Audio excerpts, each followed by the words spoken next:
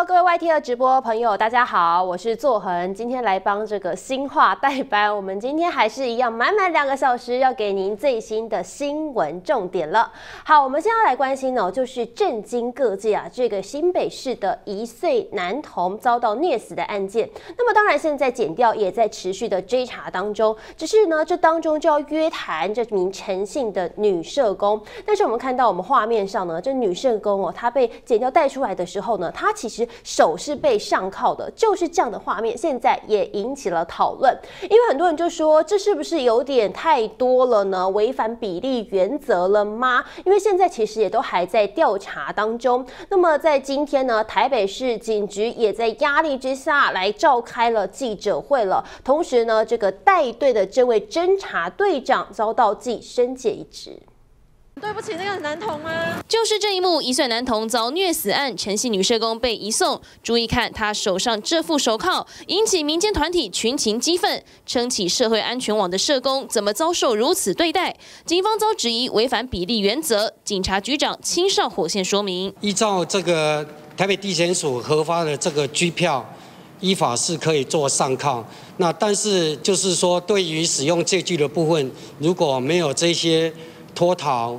或者是自伤自残，那审酌这个案件的话，倒是可以做一个衡量。强调依法行政没问题，但带队的侦查队长遭惩处，又是什么逻辑？没有，他现在我就是说上铐的这个过程当中，你在带。待案解送的过程当中，应该避免这些的这个手铐做一个铺路。民间团体认为社工全程配合，没有攻击或脱逃倾向，质疑警方使用手铐的正当性。目前包括司改会、立新基金会、新路基金会等超过一百个民间团体联署抗议，批评检警行为嗜血猎巫，让社工觉得很像是猎巫式的一个一个解送的过程。其实对这个整个社会的安宁没有帮助，也对侦查的这个效能没有帮助。那用这样的方方式来羞辱这个社工，就是其实社工界为什么引起这么大的反弹，是有这样子的原因。社工案发后自责睡不好，也有进行心理咨商，可能担心他情绪激动有自伤疑虑，警方也有拘票才会上铐。前检察官国民党立委吴宗宪也指出，依照过往经验，因为社工涉犯伪造文书，若检察官认为他有灭证篡证可能，核发拘票，警方上铐并没有违反程序。到底该不该上铐？警界、法界看法不一。台北市警局将这起事件列为教育案例，加强训练。上铐于法有据，也要顾及人权。TVB 新闻吴俊杰、许傅丁华 SNG 小组台北报道。确实，关键点现在就在人权的争议上哦。那我们看到，其实在这个他们也掀起了正反两个意见。首先呢，是有人就认为说，确实警方有权利上铐。那么当然，可是不要把这个手铐就这样大拉的拉的亮相出来。可是也有人认为说呢，这似乎已经违反了比例原则。虐童案，北市警方把社工上铐引发争议，大大小小的案件要不要上铐，到底是谁说了算？被民众指控说造成名誉受损，又或者是让人犯有逃跑的可能，让基层员警相当为难。有时候因为又没人上手铐，如果被长官督警督到，还要接受处分，这种这么瞩目，如果没有上铐。可能又会被质疑说，哎，是不是犯前有特权？何时上铐才正确？过去在基隆曾发生持刀砍杀女友案件，当时嫌犯被上铐送办。台北市的 KTV 也有两派人马互看不顺眼打起来，被依聚众斗殴罪送办，嫌犯同样双手被上铐。而新竹一名犯下连续偷车案的窃贼，则是反手上铐。新北市的土地公庙被偷，窃贼不用上铐，直接带回派出所。似乎案件类型不同，做法也不一样。但有些人认为比例原则很重要，而嫌犯的射精。地位也有差，如果是公众人物，比较不担心对方落跑。你给他上手铐的话，给的给给外人的看看法，只是你执法机关的无情而已。你应该要审酌这个人他会不会逃跑，他是有正正当当的工作，他是一个有有名有姓的人。嗯，警方其实不用担心他会跑掉。解交到地检署之前的这段期间，有需要公开的部分，我可能只会用外套盖住他的手。也还没有在被法院定罪的情况下，我们还是要。在乎他的名誉。根据借据规定实施办法，依法拘提、逮捕、解送人犯，都得将被告上铐，也就是有权利上铐，但要符合比例原则，保护嫌疑人的名誉，避免把手铐等等借据暴露在外。而嫌犯也能提出要求，双手盖外套或戴安全帽，觉得做法不恰当，也能对警方提告执法过当或妨害名誉罪。但也有法界人士认为，如果在乎社工和警察造成对立，就不依法上铐，反而才是不正确的。立场不同，解读方式也差很大。TVB 新闻陈宇轩、加曼台报道。好，不知道观众朋友你们怎么看呢？会不会觉得说有点同情这个社工呢？但是凯凯的死确实也让大家有非常多的讨论面向，包含像是这个保姆的制度是不是在我们定定上呢也有些失灵的部分。不过我们今天呢就要把问题来持续的聚焦在，刚刚我们看到说这个到底社工刚刚被上铐这样的动作合不合理呢？我们要请教的是社会记者李杰到我们现场，李杰好。晚安，观众朋友晚安。好，没有错，我们李杰。我们刚刚有提到说，像像这个刚刚我们看到就社工的部分嘛，那你们自己在跑现场这么久，会看到说，平常警察在这个有没有一些，比如说衡量的标准到底是什么？其实到底能不能上铐？其实，在昨天这个案整个画面曝光之后，其实真的是让人蛮心寒的。尤其是当我们看到整个案件，其实真正的这个加害者是那对的保姆姐妹俩。但是呢，这个呃社工他到底有没有因为疏失而卷入这个案件，导致说他自己也被列为被告，甚至呢也被上铐？当时他从这个警局走出来的时候，其实呢这个画面真的是让人觉得非常的心疼。只是我们来看到底上铐还是不上铐这个问题呢，可能就要从法律来看了。那其实呢，当时检察官是有发出拘票来拘提这名社工的。只是呢，如果从法院来看的话，就要看警方可以依照刑事诉讼法侦查不公开的这些原则，以及一些逮捕、拘提、解送的一些实作办法，是确实是可以让他上铐。只是呢，在上铐的过程当中，可能有些细节要注意。就是当我们在采访现场的时候，有时候会看到嫌犯确实是有上铐被带走的，但是呢，通常都会用一些可能外套啊，或是衣服把它盖住那个手铐，也就是他们所说的这个铐具的部分。不过我们来看，诚信社工他其实是在整个案件当中，真的是觉得内心非常的煎熬。他的父亲是一名这个牧师，他从小呢也是希望能够帮助有需要的人，但这次却因为涉及这个过失致死、伪造文书而被列为被告，就有很多的网友来来对这个状况来做有不同的想法。有人说呢，社工他被搜索、被带回，整个过程都没有任何他们这个联盟的人来陪同他，都是他独自面对的。难道出事就是社工要扛责任吗？社工的价值瞬间被毁灭，甚至也有人说那一晚仿佛是一起起被上考。只是呢，他工作这个儿童福利联盟，他们的长官到底是怎么说的？在第一天的记者会当中，他们的这个董事长林志佳竟然呢面对镜头就说，要求这个社工呢要勇敢的面对社会，勇敢的配合司法调查。身为第一线社工的长官，竟然在这个时候说出这样的内容，难道是想要切割吗？其实也可能是让这个社工感到非常的心寒的。那么曾经在这个呃。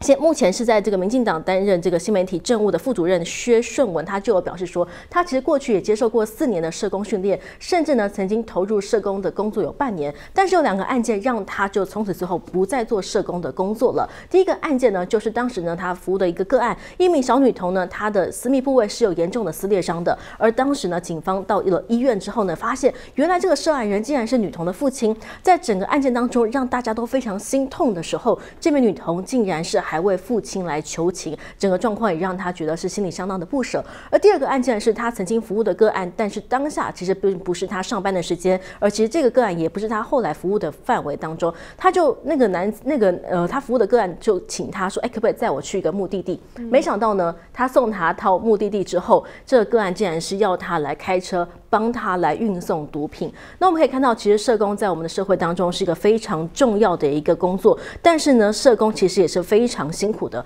碰到这样的案件，其实大家都不愿意发生，也因此呢，也有人提到说，像这样子，社工确实是可以保护孩童免受于一些呃非常严重的一些攻击或者是一些虐待，但是呢，发生这样的状况，其实社工并不是最主要的虐待原因。嗯，确实，刚刚李杰有提到说，但我们现在也不用急着猎污嘛。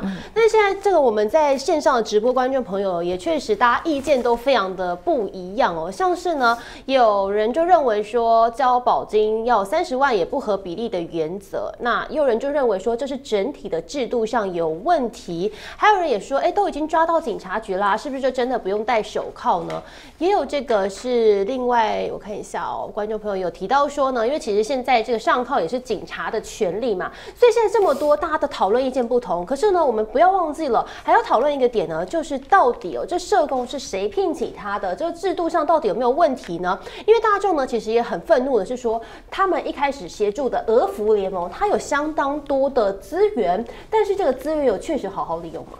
我们来看一下，其实这个俄服联盟他们的资金其实非常的雄厚，就光是他们的资产呢就已经高达了四十五亿。那么在发生这个状况的时候，其实社工他们虽然说有通通报，那真的是只有社工一个人的责任吗？其实当他通报之后，他的长官、他的督导，他包括一连串的他呃负责的这个社工的一些相的长官们，难道都没有注意到当中有问题吗？为什么把责任都推给这个社工呢？我们来看，他们其实在第一时间，他们的董事长跟他们的这个执行长呢，都有出面来开记者会，但是在记者会当中呢，他们的一举一动却是让非常多的民众是没有办法接受的。首先，我们来看，就有人只提到说，他们的这个董事长跟执行长竟然是面对面的苦笑。那在这个时候，你怎么还可以笑得出来？那我们来看，他们说他们有出面来说明，那到底又说了什么内容？从黄色的字可以看到，他说这件事情我们一定会负起责任。那说要负起责任，却没有说任何具体该怎么负责。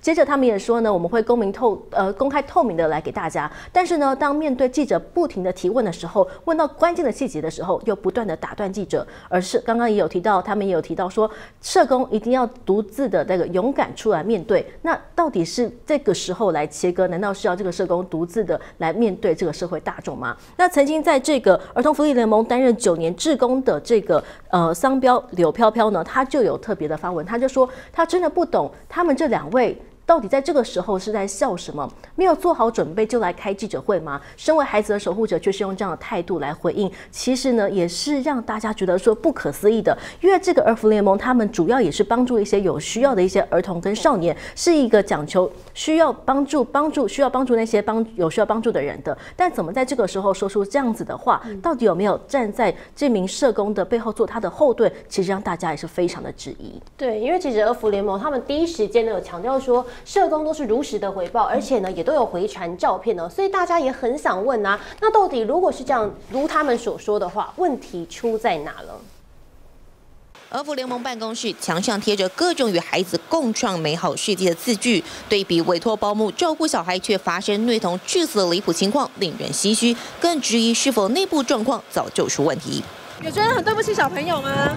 负责开开的诚信社工，日常要负责十几位个案，包含访视、电话联系，接着将工作向上回报。上层再分为督导以及组长两部分，一位负责行政管理，一位复合个案状况。而督导底下约有二到五名的社工，手上共有五十多位个案的小朋友，被怀疑机制可能有缺陷，社工有回报却没早一步发现。而福联盟对外强调，记录上诚信社工都有依规定回报，也没有造假，那问题出在哪？儿福联盟的脸书撤下原本孩子天真乐开怀的照片，换上全黑页面。他们低调更换，希望民众不要把仇恨的情绪转接到其他活动上。儿福联盟在二零一九年买下内湖这栋大楼的其中一层当做办公室，不过他也被人提出质疑，有一年呢居然只有支出百分之四十八用于服务。儿福联盟过往的状况也再次被人放大检视，像是砸三点七亿买下台北市内湖的办公室，以及用于服务的支出低于百分之五十。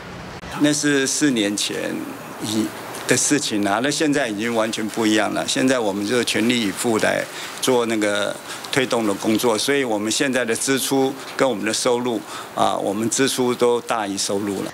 在前一天的记者会中，俄盟董事长林志佳回应，过去受到外界质疑，已经立刻改进。不过，一岁十个月大的凯凯，经由俄服联盟委托的刘姓保姆接手照顾之后，如果都有如实向上回报，那到底哪个环节出差错？是人为疏忽，还是保姆姐妹俩只手遮天，蒙骗社工，才错过救孩子的关键时刻？TVB 新闻陈人叶俊台报道。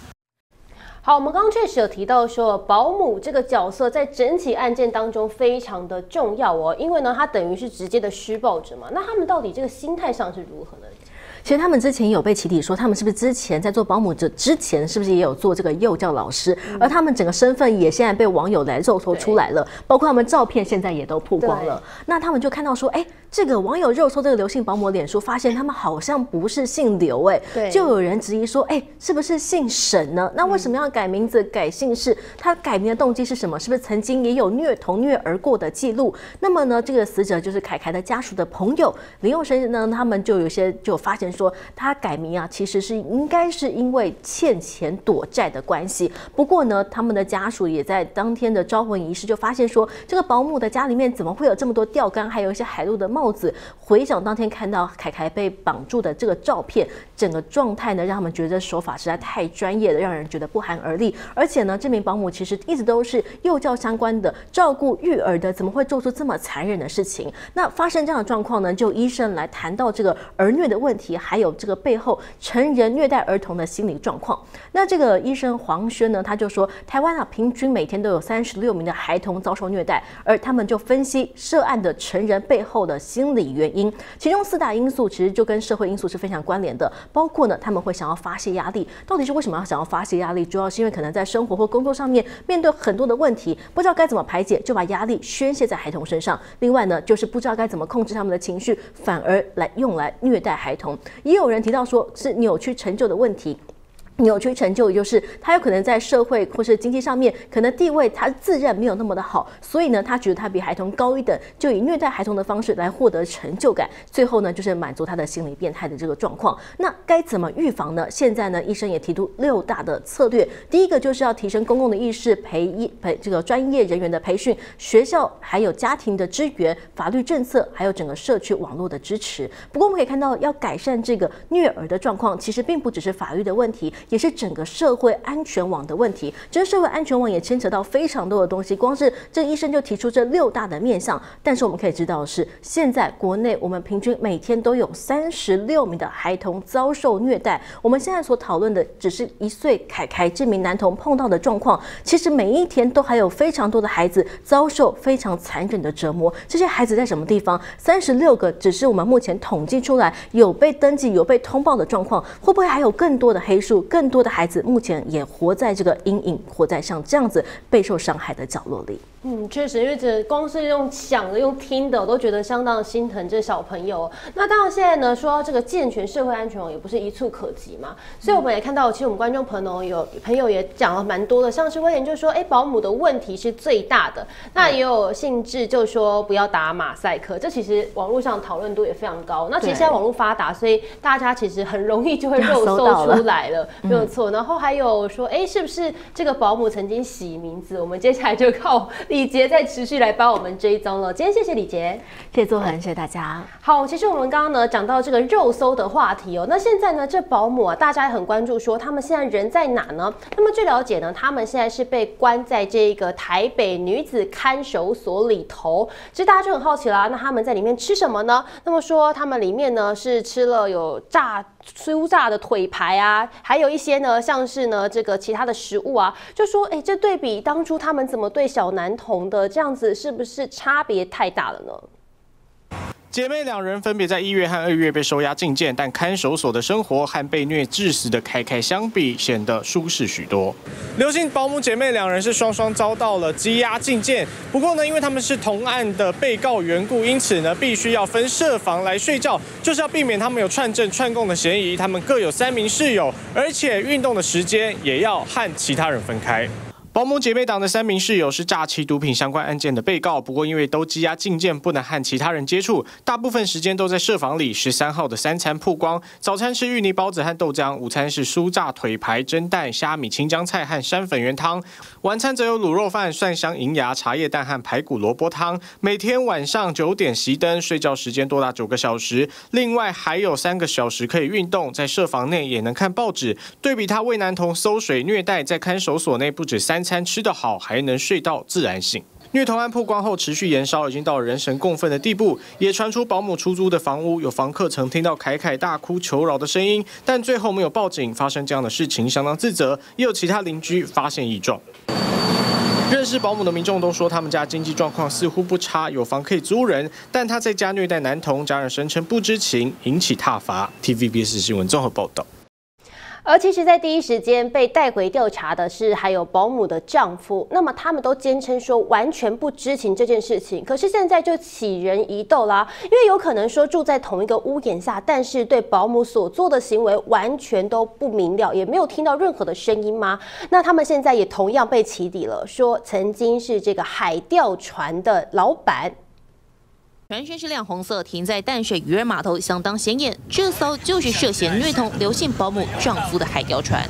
明天准备去钓鱼，先来看一下那个准备东西嘛，就哎发现哎奇怪，什么船头有槟榔汁？船头被人丢槟榔汁，连甲板上都有，似乎被发现身份后有人气不过。而涉案的刘姓保姆的丈夫自称是士官长，经营海钓船，在网络上标榜最新最齐全，有多年的经验，在淡水也小有名气。那载客人在淡水这边算前辈了，大家在这边都是也是和平相处。这艘娱乐海钓船要价约三百多万元，船舱的门还贴上两张陆战队两栖侦搜部队的贴纸，但有其他钓客对外抱怨，保姆丈夫太有个性，不容易相处。其他有坐过他船的钓客讲，就是说他这个人自负吧，可能会被他封封封锁踢出群组。但保姆的丈夫到底知不知情？住在家中的男童凯凯遭到虐待。前保姆在脸书发文透露，在招魂当天，在保姆家看到钓具海军陆战队的帽子，让他怀疑涉案的不止保姆姐妹俩，因为刘姓保姆和丈夫、儿子还有婆婆跟外佣同住。第一时间，丈夫被带回，坚称不知情。事后，直到外佣拍下关键证据，才让恶劣的保姆遭到收押。因此，检警也不排除再次约谈王姓丈夫。伊换足侪我，换足侪，换足侪，来拢做个好就走，毋是跟他照照顾老伙呢，全部拢来拍打扫啊，打扫、洗衣服啊，带小朋友。明明是同住的一家人，连其他公寓住户都曾听到孩子哭声，但刘姓保姆的丈夫则推称毫不知情，这说法难以让外人相信，是真的没回家不知道，还是害怕自己也卷入风波，企图帮忙掩盖更多证据？恐怕需要更多的调查才能厘清是否真的清白。TVB 新闻陈怡人、叶俊腾报道。好，这件事情引起全民的愤怒。我们看到，就连其他的相关儿童福利的机构也同样被牵连了，好无辜哦。好，因为呢，现在就说，其实他们本来经营已经蛮辛苦了，像是受到疫情啊以及通膨和年改的冲击，所以本来呢，在资金来源上就比较吃紧一些了，主要就是靠像是政府的补助或是一些善心人士的捐款。只是现在面对这样的争议呢，就连很多的像是同样类似的名字呢，都会被误。会说是跟俄盟同一个单位的，所以他们就呢一直接到电话，质疑他们的善款是不是没有好好的利用。那反映的其实是现在社会大众对于相关的机构是产生非常大的不信任感。可是偏偏需要这样帮助的孩子还蛮多的，因为我们看到全台呢八个团体哦就可以进行初收养呢。现在呢卫福部他们呢也记重话了，说呢要来暂停俄盟先新收案。那其实呢有四百。八十六十八名的儿童，他们本来是要等待收出养的。这当中，我们看到三岁以下的小朋友呢，就有大概是两百人。那现在面对这样的状况呢，卫福部又说，俄盟不能新收案，一直要等到他们有新的提案能够改善，才能够重新再收小朋友。而福联盟发给内部社工信曝光，说看到诚信社工上铐那一幕，震惊、心碎也悲愤，强调不会让员工独自一人面对，感性喊话。但卫福部已经看不下去，在整个呃基金会还没有提出这样一个检讨的改进的作为之前，我们呃就先让就先暂停，让他呃新收。呃，收养新的收养童，卫福部态度硬起来，宣布禁止儿福联盟再接新出养业务，已经在走程序的要求，梅河县市政府得更积极防事。不过以目前全国待出养孩童来看，四百六十八人中，三岁童以下约两百人，光儿福联盟手上就有一百一十五案，占比高达百分之二十四点五。但到下午四点，还是没收到公文。他们的检讨报告以及改善的作为，嘿，再来看情况。再次情况是不是要恢复？如果最终还是得停止接案，出养收案压力将落在其他机构身上。而妇联盟一旦禁止所有的出养工作之后，就会涌入到其他的机构，其中呢就包含了中艺，而其他还有像是呢善木、立新等七家机构。全台湾都有服务出养童，可能是北部或是华东地区的转接过来的案子，这个负荷已经有点。已经其实已经蛮蛮吃紧了。小天使坦言，现在八十案人力很紧绷，很难再收新案。深爱儿童之家强调人力很少，处理出养行政程序只有四个人。嘉丽丽则说自己在台东收别县市案子比较难，初步评估影响比较小，但少一家机构，社工负担加重，缺工恐怕雪上加霜。案量蛮大的啊，当时我记得他们其实是这个收出养制度的一个主推。NGO，我觉得现在是头痛医头，脚痛医脚啦，没有从长远的制度去思考这件事情的。而某四百八十五名员工中，超过七成都是社工，专家也担心长时间停止出养业务，不只会重挫士气，恐怕也影响生计。TVB 新闻谢文祥家庭台北仓报道。好，常常看到这种事情呢，我就会想说，如果早一点发现，是不是真的会比较好，结果就会不一样呢？因为其实，在之前似乎就有征兆了。这位保姆她是在二零二二年十月份的时候才重新领证的。那男童在入住前的时候，按照规定确实会有一些访视的动作。那这个男童他是去年九月份才入住的，九月二十六号的时候是入住后的第一次访视。当时说完全依照规定，也有资料，而且呢调出来发现保姆雇了五个小朋友也没有问题。可是问题就出在曾经有一位妈妈她投诉过，说小朋友突然出现屁股红红的状况，那就说哎那时候以为是虫咬，现在回想起来是不是有可能就是有一些征兆呢？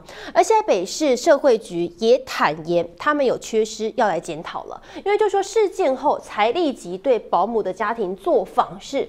那当时呢，他们曾经呢是保姆没有被羁押之前，对整个过程呢都是说不回应，或者说不知道。那直到韩文递检呢提供希望提供更多的资料做调查报告依据，他们认为说检方当时说侦查不公开，没有提供更多的资讯，所以现在台北市也因为这起事件就开始提出一些内部的检讨了。他们提出了有七项的检讨作为，可是呢，小孩屁股红这件事情呢，是不是就已经代表说保姆他是有前科的呢？那么他们提到是说，当初家长把孩子转出，不是因为认知到保姆照顾的不。好，而是呢认为说这个照顾的理念上彼此有一些可能没那么契合的，因此呢就没有主动的认为这件事情是受到虐待伤害的。但当然呢，整起事件呢，北市跟新北市现在也非常的尴尬，因为这小朋友他是新北市人，可是他受托的地点是在台北市，所以现在也掀起了自家人互相的质疑。因为像是台北市议员陈炳甫呢，他今天就跟男童的家人一起出。面就说新北市府没有作为，而另一部分呢，台北市的议员钟佩君却说他认为台北市长蒋万安应该要做得更好。新北市到昨天晚上才发了四点声明，而且里面讲的全都是乱讲。终于忍无可忍，虐童案事发至今三个月，抨击当初转介出去的新北市府看不到任何作为。同属国民党的台北市议员陈炳甫不想再护短。新北市政府到现在不好好检讨，然后在那讲一些五四三。十二月二十四，你已经没有做到，就已经该死。包括提高服务中儿少的访视率和提高访视人员对孩子现况的敏感度等等，我们都要做得更多。不知道新北市府这样的回应能不能让陈炳甫消消气？因为他说事情曝光后，新北市府一点动作都没有，还反怪男童家属断章取义，不承认有疏失。莱茵自家市长自己骂台北市长蒋万安，同样被自己人 K 的满头包。这中间两个多月的空窗期，市府究竟有没有更高层级掌握这样的情况？社会局有没有往上回报？我也要求蒋万安市长必须在这件事情。台北市议员钟佩君说的委婉，但在脸书上措辞严厉，要求社会局谁该负责就下台。钟佩君原本痛批蒋万安，好不容易拿回政权，却以这种态度执政，愧对市民。只是后来却改为身为执政党议员，我感到愧对市民。现在这个时候不是要来政治口水或攻防。抱歉哈，因为。我自己也身为社工，台北市社会局长为社工哽咽发声，却逃不了蓝绿共识，要求引咎辞职的命运。总共两年拿了我台北市政府将近一亿的标案，你跟我说你跟俄府联盟不熟，局长应该为这件事情下台。虐童案犯众怒，蓝英这回炮口对内打得比绿营更有力。TVBS 新闻华少平 T P 台北报道。好，那现在我们刚刚有提到说，就是有关于社工的部分，他们的工作啊，真的是超级的繁琐的。因为我们就带您来看到呢，像是初次访视的评估报告呢要做之外，还有评估报告延伸出来的一些行政流程，同样也要做。所以这其实是非常繁文缛节的。另外还有每个月也要做家庭访视、打电话啊，还有服务的对象家属延伸的也是他们的工作内容哦。还有机构评鉴等等，你看洋洋洒洒有十点，这都是很。基本的很基础的，甚至有些呢是在机构里头有些杂事，他们可能也要处理。不知道观众朋友你们有没有认识的朋友或是家人就在当社工的，也可以欢迎来帮我们补充留言。那这么辛苦，还有可能要随时有遭到公审的可能性，为什么呢？我们看到这个案例哦，是二零二一年的时候，有一位刺青师傅哦，他就指控说他十一个月大的女儿遭到高雄一名蔡姓保姆虐待死亡。好，那时候出来真的也是。大家都开始群起的围攻这位保姆哦，去灌爆他的脸书，甚至肉搜啊等等的。结果检方调查之后呢，哇，案件大逆转呢，因为发现这个根本是他的父母吸毒导致小朋友吸走吸到太多的毒烟，才会产生副作用，摔倒死亡。那保姆好不容易沉冤得雪了，可是他的清白恐怕已经没有人能够真的还给他了，因为他在这期间当中是暴瘦了十公斤，也不敢再当。保姆了，那丈夫呢？甚至因为此件事情，也连带影响到他的工作。所以现在很多的资深社工也跳出来捍卫哦，说现在大家在检讨社工哦，恐怕对他们真的是不太公平，也认为政府给予的资源实在是不够。今天其实跟我的伙伴讲说，我们集体跟国家辞职吧。这么严重？我们不是不职业了，而是我觉得国家还有国家带头。让社会民众给我们的责任太沉重了，这有些东西是大家要系统合作，各个专业一起合作。可是怎么会全部都是社工在做？年资超过二十年的社工出面阐述，这个社会到底是什么，让社工变得不是社工了？那时候我每个月可以接三十到四十案，而且我是要做深度的个案工作，我不是做个案管理就好。个案要结案，但如果没结案，下个月还是有新进求救案件，难道不用接吗？而家访只是其中一小部分工作，我要做很多资源的串联和沟通，去做整合。其实这个才是真正社工工作的意义，所以不是只有我们想象去家访就好。就说家访吧，很多时候社工根本进不去。二零一八年，台中一个高风险家庭，四岁男童全身被热水烫伤，家人却没将他送医，直到好几天后，男童失去生命迹象，妈妈才打一一九，送医后回天乏术。事后发现，原来社区邻居不止一次打过一一三一一零。当时远景来查看，认为孩子没有受虐迹象，社工也跟案家约访，人到了，妈妈却说孩子在睡觉，无法进门，又约隔天，同样说没有虐童。资深社工说，除了政府家访中心的社工有一定公权力，大部分公办民营委外执行家访中心业务的社工，有时连进案家大门都难，就算能进门，也潜藏危机。开始好像很欢迎你进来，对。进来之后门就锁住了，超可怕。通常儿保案件大部分都是很高度有可能有暴力危险的。社会国家到底对社工有哪些期待？在社工眼里，像是被予取予求，不止工时长、负荷量大，没有社会地位，而薪资就算拼命争取，在机构可能还要被回捐扣掉。我每一年哈的过年都是爬着进急诊，真的是过了。可是你说这是机构问题吗？不是哎。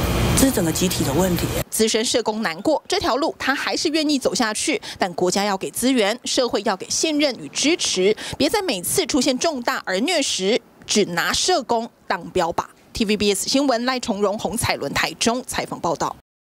好，我们接下来带您看到的是这个台中有一名骑士，好无辜，因为呢他在上班的途中，明明他是乖乖的遵守交通号志哦，就是在停等红灯的时候呢，被轿车从后方追撞。那么现在这名骑士他是脑死的状况，家属也相当的愤愤不平。那这个肇事的这肇事者呢，他的理由是说他一时恍神才会铸成大错。诚信骑士看到路口红灯减速，乖乖停等，没想到两秒后，巨大的撞击，尖锐刮地声，诚信骑士瞬间被推撞到对接。另一个角度拍到诚信骑士停下等红灯，后方白色轿车逼近路口，车速还是相当快，直接追撞。突如其来的冲击，诚信骑士毫无防备，当场没有呼吸心跳，送医后宣告脑死。他直接推下去，就直接骨架都凹成这样。那要不是中间还夹着一个人，那股价直接就没了。问题是为什么夹是我弟？陈大哥再也忍不住泪水，好好的人，早上出门上班，再接到消息却是噩耗，要怎么接受？啊，因为后壁伊而且一个加速。嗯，哦，这无法度通接受，诶，无法度接受。我我辛辛苦苦饲一个囝遮大汉，啊啊啊啊，花一个时都无去啊。陈妈妈说，儿子今年六月就要满三十岁，在细品上班，家里三个兄弟，他排行老幺，一家人住在同一个屋檐下，感情很好。哥哥们痛失手足，只想问白色轿车的驾驶到底在干嘛？路口的时候又不减速，啊，开车不看前面，然后当时又没有什么逆光，啊，又不是下雨天，离家两三分钟的路而已。那我就没了。肇事路段在台中西区中明南路五泉五街口，诚信骑士的机车从中间断裂，往内凹成一块，避震器排气管也断了。事发在十二号早上六点多，诚信骑士一如往常要骑去大雅上班。肇事的驾驶四十一岁的李姓男子开着租赁车，在一名女性友人，向警方宣称因为恍神分心，没有看到诚信骑士，但当时路口早就红灯，远远就看得到，难道都不用减速吗？TV 新闻将军罗欣台中报道。好，同样也是称自己晃神哦，就是在花莲有一名驾驶呢，他开车撞击了一旁大楼底下的一整排机车，一下呢就是六辆机车和一辆自行车全倒，像是在玩骨牌一样。但是这个不好笑。那么这一个驾驶夸张的点是呢，他只扶了其中一辆机车，结果就肇事逃逸。行驶在马路上，越开越偏离车道，直接撞击路边的机车，一整排东倒西歪，有如推骨牌一般。驾驶发现闯了祸，下车查看，扶起一辆机车之后，没多久，居然直接开车离开。回到事故现场，被撞的机车车壳破裂，车牌分离。这起肇逃事故发生在十一号晚间九点左右。王姓驾驶开车行经花莲吉安仁里一街，撞击一旁停在大楼前的机车，造成六辆机车和一辆电动自行车毁损。他这个这台他那个住户是打算要这台要报废，直接报废了哈。报废，问题是。对方到底能赔多少，我也不知道啊。现在的那个零配件就那么贵。机车毁损严重，只能报废。还有些人不知道车子被撞，保全也协助贴单提醒车主到派出所。而这名驾驶，警方巡线在案发后两个小时找到人，他供称因为一时晃神才会撞车，当时太紧张，只想赶快回家。驾驶肇事逃逸，无人受伤。而未依规定处置者，仍可依《道路交通管理处罚条例》第六十二条处新台币一千元以上三千元以下罚款。驾驶撞了车没停下来处理，现在不止面临罚款，还得负担七辆机车的赔偿。TVB 新闻高志宏、陈家彤花莲采访报道。好，接下来这个是明明自己违规在先，但是却很理直气壮。有一名驾驶，他违停在人行道上，当然就有民众想要拍下来，可能之后要检举或是要警告他哦。但是他也非常的生气，不断的要来阻挡。那么现在呢，警方也说他会依照这样的影片对他开罚。就你手机拿过，转过来我看啊，对不对？你要做什么？我想问你要做什么嘞？穿着黑色上衣的驾驶不断质问，让拍摄影片的民众有些害怕。只是明明驾驶违规在先，态度却很强硬。七号下午两点多，桃园延平路上，民众陈先生走在人行道，这时突然有一辆速度很快的箱型车紧急刹车，停在他面前，把他吓了一大跳。所以那时候我就跟驾驶挥挥手说：“前面有黄线，有临停车格，你要不要去停那里？”结果驾驶不理我，他就下车直接走了。男子好心提醒驾驶，却不领情。他拿出手机录影，这时驾驶气愤的冲上前，叫他不要拍。他就一直质问我要干嘛，要干嘛。我觉得很莫名其妙，怎么违规的人还可以这么大声？你不要停在人行道了。手机先拿走拍啊！他们当什么检举达人？虽然最后驾驶将车辆往前开到黄线临停，但是他把车子开走的时候，他还故意贴我贴得很近。车子就从我旁边咻很近的就刷过去，也没有考虑到会不会擦撞到人。虽然没有发生碰撞，但还是让陈先生感受很不好。接获检举后，将依《道路交通处罚条例》第五十五条规定，在人行道临时停车，处新台币三百元以上六百元以下罚款。对于违停行为，警方将依法开罚。民众提醒却被呛瞎，相当无奈。TVB 新闻林志伟、陈家彤桃园采访报道。还有很无奈的，这不知道该说是这个在路上行驶的计程车司机要无奈，还是驾训班要无奈呢？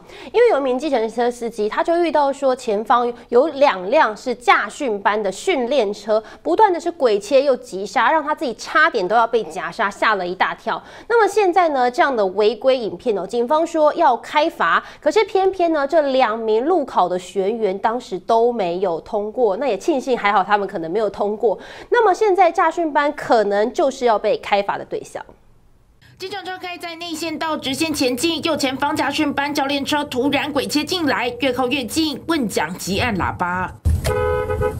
好不容易闪过一步，到路口又来一步。考照中的教练车开到一半突然停下，计程车跟着急刹，一分钟内被两部教练车夹杀。问讲忍不住发火。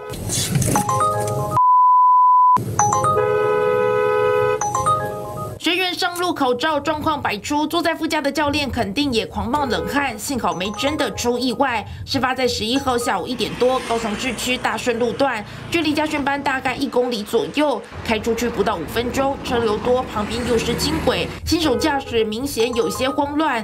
魔王大关道路驾驶考验的是实际上路后的临场反应。当天两名学员都抽到 A 路线，路考双双卡关，就没过啦。就是没有过。对，因为这是一个教育呀，都没办法啊。嗯，那你是不是他们缴的的费用才多少？我们要在维护他的全部的安全，他违规又要算在我们的头上。警方将通知驾驶人到案说明，调查原委，并针对违规部分。依法治单举发。依照道交法规，车辆只有在超车时必须礼让教练车，新手驾驶上路练车违规还是得开罚。没打方向灯、占用转弯车道，两条加起来最高可开罚五千四百元。TVBS 新闻徐克成高雄报道。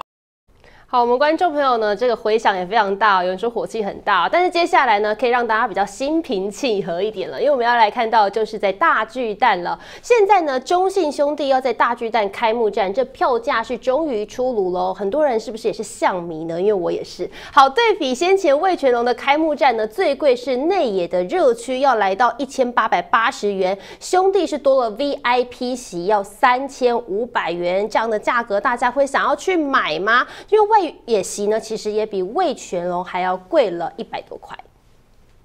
中华职棒所有球团的啦啦队们接二连三公布新战力、新成员。毕竟作为应援区的重要角色，要让球迷的观赛体验加分，票价势必也会有所调整。中信兄弟在台北大巨蛋的开幕战票价出炉了，除了应援区的一千八百八十元之外，还多了 VIP 席三千五百八十元。可是以最高票价来说，是比魏全龙还贵了将近两千元。如果有喜欢的队伍，是可以接受。VIP 有三千五百八。可能对棒球迷来讲，应该还 OK 吧。比一比两队的开幕战票价，内野热区都是一千六百八十元到一千八百八十元，但外野席就略有不同。魏全龙外野席全票五百元，中信兄弟则是六百八十块钱。毕竟大巨蛋的场地营运费也不是小数目，对球迷来说，避免风吹日晒雨淋，也会提升观赛体验的感受。种种考量可能就反映在票价上。但现在市场上也传出，中信慈善基金会董事长辜仲亮有意。意愿要拿下台北大巨蛋 BOT 案，全力转让持股五成，规划作为中信旗下球队的主场，甚至传出软银、正大、补风各出百分之二十，就连亚洲天王周杰伦也有意入股百分之一。未来我想我们还是会朝着我们自己自营，然后目前我们既然是 BOT 的履约厂商，就按照契约里面把大巨蛋经营好。不过反观桃园棒球场却无法赶上中华职棒的开季，因为球场内部相关工程还在进行，经过勘查确定无法在三月。月底使用。3月31日の試合につきましては、あ新装球場、えー、4月3日、4日の試合につきましては、あ天武球場。4月5日から7日の試合につきましては台北ドーム。这一季前六场都将北漂比赛，也是球队十四年来首次开幕战不在自家球场。TVB 中英冷中轩台北采访报道。 好，最近呢说是因为清安贷款的关系，所以青年买房的比例也增加了。观众朋友，你买房了吗？那么不只是台湾哦，包含新加坡呢，也针对青年的部分呢，提供了一些优惠，像是呢，祖屋你买它的话，补贴是高达到新台币四百三十九万。可是这样一来，也造成房市出现了供不应求问题。公司担任软体测试主管，二十八岁的沈米拉去年花费约新台币三千三百万买进新加坡市中心一房一厅的公寓，不过光头期款就得先付八百二十六万。As we all aware that the housing prices in Singapore can be quite steep, and I thought it would be smart of me if I was to secure a house as fast as I can. 去年二月，新加坡调高首购足津贴，祖屋最高补贴新台币四百三十九万，导致供不应求，越来越多年轻人转为购买私人住宅。新加坡地产公司针对三点七万名购屋族进行调查，发现私宅买家年龄中位数从二零一五年的四十五岁降到去年的三十九岁。其中二十六岁至三十五岁的购屋族占比，更从二零一五年私宅总销量的百分之九，暴冲至去年的百分之三十五。虽然说呃新加坡的私宅的中位数高达台币三千八到四千万，但是因为新加坡的平均薪资呢，呃高达台币十五万元左右，他们的薪资来购买私宅的话，其实大概是等同台湾人呃买购买一千四百万左右的一个房子。台湾买房痛苦指数。远高于新加坡，不过在新清安贷款助攻下，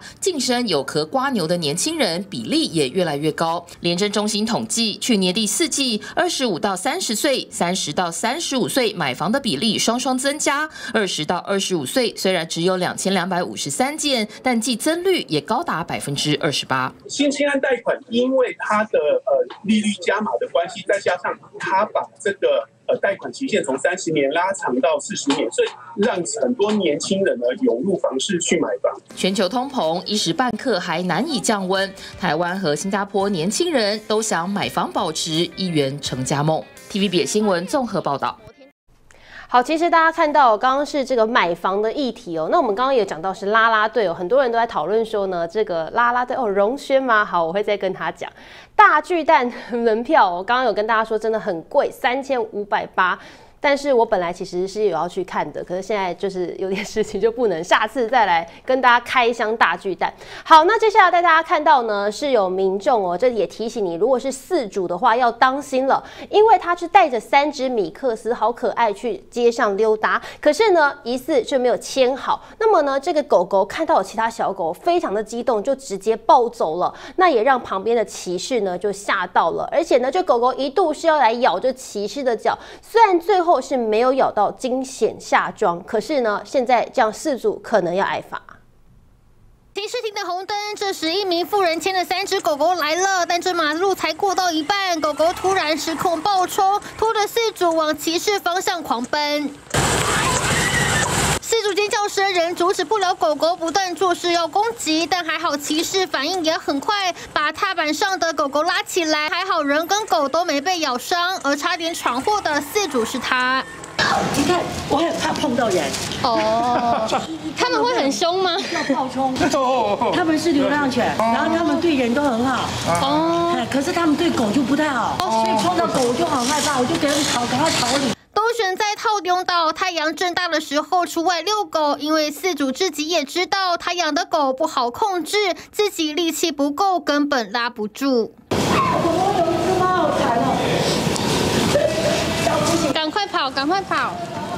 狗狗失控，富人只好使命拽住牵绳。而平时都会在高雄流行音乐中心附近遛狗。十二号下午一点多，疑似因为这狗遇到小狗，导致三只米克斯太过兴奋暴冲。但这背后有洋葱。他们从小流浪吧，我也不知道。有时候还是会很干扰别人，我很难过。计算分了，我我一共有六只。看到这么多只大狗，怕狗的民众大多都会闪远一点。但这回骑士是停等红灯，这狗自己冲过来，根本无处躲。要是被咬伤了，可是要挨罚的。做宠物因松脱而导致宠物受到伤害，则事主加一动保法，最重可依同法第三十条处罚七万五千元罚款。米克斯因为长相不讨喜，是台湾街头常见的流浪犬只，富人好心捡回家饲养，但流浪犬个性已经定型，较难教育。宠物业者建议，除了不要同时遛狗之外，最好佩戴狗嘴套，避免狗狗闯祸。体变新闻，周丽刘璇高雄报道。狗狗差点闯祸，但是呢，这个猪也可能会闯祸。是在国道上哦，有驾驶呢开车开到一半，突然目击到前方的这个载猪只的车辆上头一只大猪就这样一跃而下哦，他吓坏了，因为当时也很怕说会直接撞上了这只猪，还好最后没有砸到路过的车辆。驾驶呢，在国道上面看到前方有一辆载满猪只的车辆经过，但其中有一只猪特别不安分，把头跟前肢伸出车外之后呢，还看到它不断的扭动，原来它企图想要奔赴自由。而地点就发生在国三九如北上路段，在今天中午十一点多的时候，有民众拍下了这一幕。国道上载的这个猪只的车辆，其中有一只大猪呢，竟然一次受不了了，竟然是直接跳车。头部着地之外，还翻滚了好几，但还好呢，后车跟他们保持有车距，没有人车被砸中。拍摄影片的驾驶表示说，当下他其实有企图想要跟前方的驾驶反应，但对方不理，直接把车给开走，留下猪只在现场。只是这头猪奔赴自由代价可不小，因为呢，过去也曾经有很多大猪在国道上跳车的事件。国道警方也表示说，这样子的一个状况呢，可。处汽车驾驶人三千元以上一万八千元以下罚款，如果造成人重伤或死亡，还要被吊扣或吊销驾照。宜兰苏奥渔会在上班时间遭到一名陌生男子闯进去，甚至是要举起红龙柱来打员工。情绪一来，谁也挡不住，完全不管一旁有其他人，力气超级大，直接举起红龙柱冲出来就想往别人身上砸。一发现有危险，员工赶紧闪躲，用手阻止并大声呵斥：“你想做什么？”然后就呵斥他，嗯嗯，然后也瞪着他，然后之后他就眼神突然本来很凶恶，然后之后就转了下来。就是这几句话起了效果，对方退缩了，默默放下武器。只是明明根本不认识，怎么突然一个不顺心就做事攻击？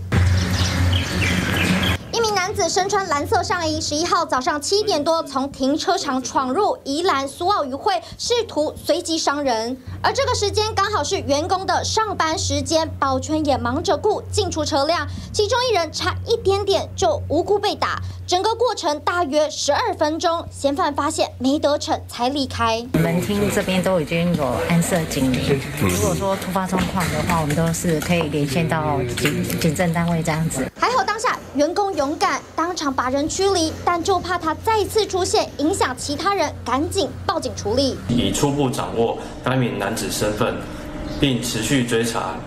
厘清现场案发原因，只是上个班也得提心吊胆，怎知哪天陌生人又趁隙闯入，员工、民众还是自己提高警觉。TBS 新闻简大成员身份宜兰采访报道。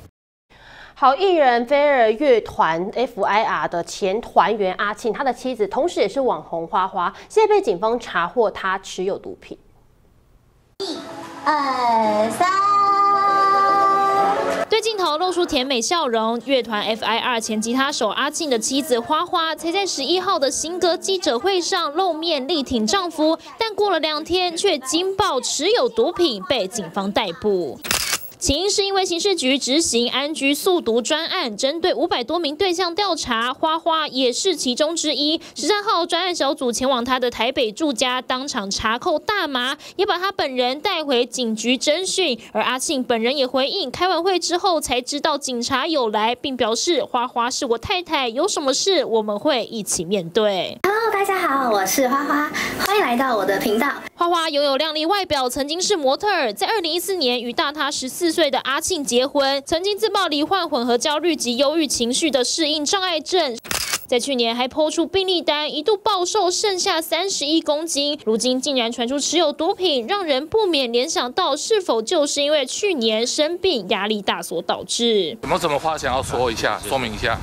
谢谢谢谢谢谢大家。而提供毒品的人被曝疑似就是在新店区有夜店大亨之称的夏天浩，因为他也在十三号的扫毒名单当中。随后就在早上七点多，在夏天浩住家搜出大麻烟油、大麻巧克力、烟斗、新石器等等。警方目前也把他带回分局侦讯，将依毒品罪送办，并厘清毒品来源。哎，不好意思，不好意思，不好意思。而夏天浩被请回，不过持毒消息曝光之后，随后 The Loop 集团就发表声明，宣布集团营运总监夏天浩即日起辞去集团内所有职务，公司也同步解除他的一切职权，并强调集团坚守一贯反独立场。不过这一波扫毒行动才刚开始，会不会有更多大人物被爆出来，值得关注？TBS 新闻林正林文综合报道。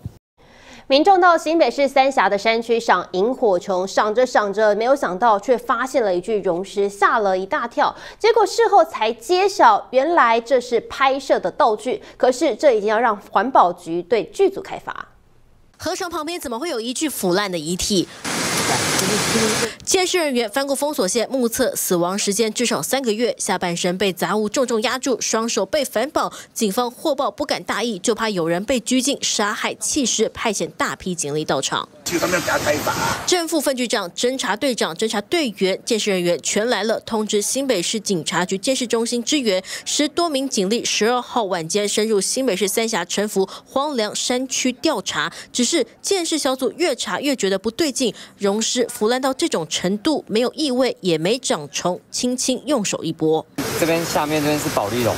这个地方都是保利龙，我们把它搬出来之后，发现它手骨上面都是一些螺丝钉，然后再加上它的那个左臂那边，后来我们轻轻把它翻开之后，发现里面都是保利龙，就是里面都是保利龙跟塑胶所合成的物品，这样才。